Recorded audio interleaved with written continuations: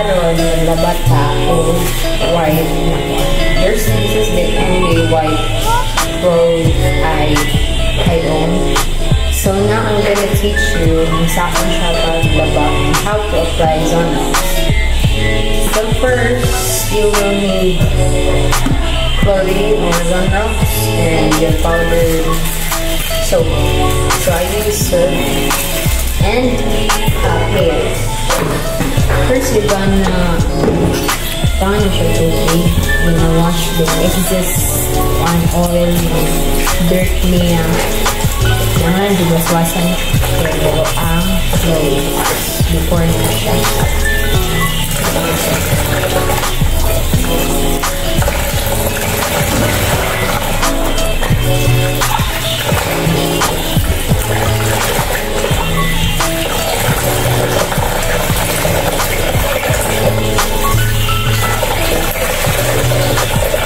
So yun, mo siya i-pungkon para Anyway, butang mo og water o sabon, mas matuhok ang sabon sa inyong clothes. So, karon ako nang i-butang ang pop.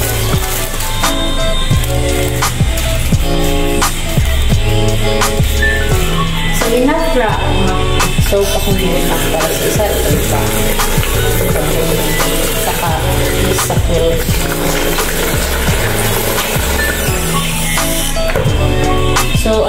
this much water, just enough na mabubble chocolate. Okay, mix na ko ang powder Then, I'm going to dip my clothes.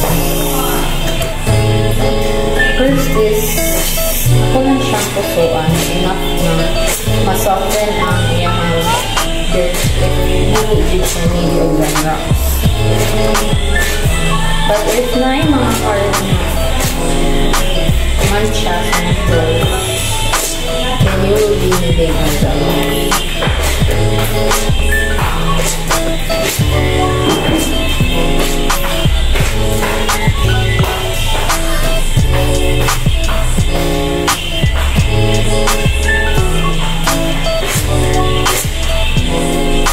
Medyo yung mga stains na dili idala lang with soap and water. So, then I will apply Zonrock. So, I will apply Zonrock sa mga places na ano, uh, need i-remove ang stain. Like, for instance, kanina.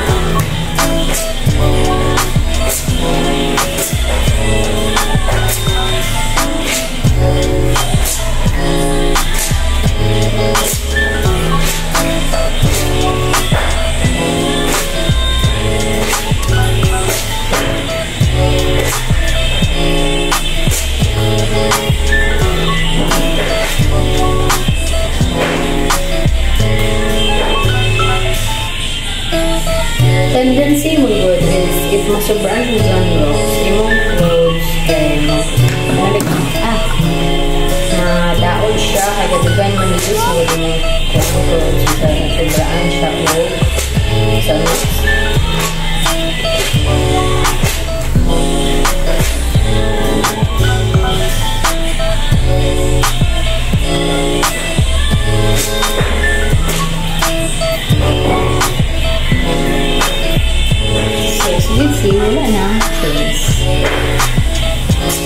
that's all. There you go. Skin off.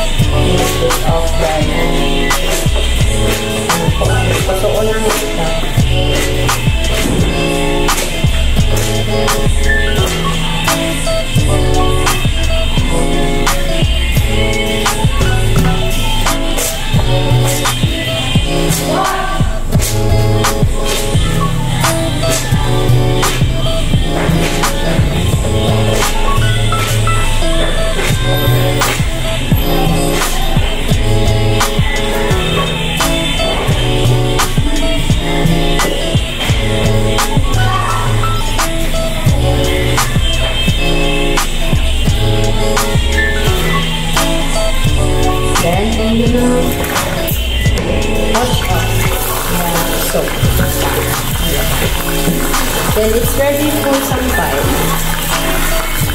So, I'll be right back when magsampay ko. So, if magsampay kag clothes, usually, imo dyan na siyang balihon. Ingon si mama is to prevent na ang inner jud na part sa clothes if mahugaw. So, that's all.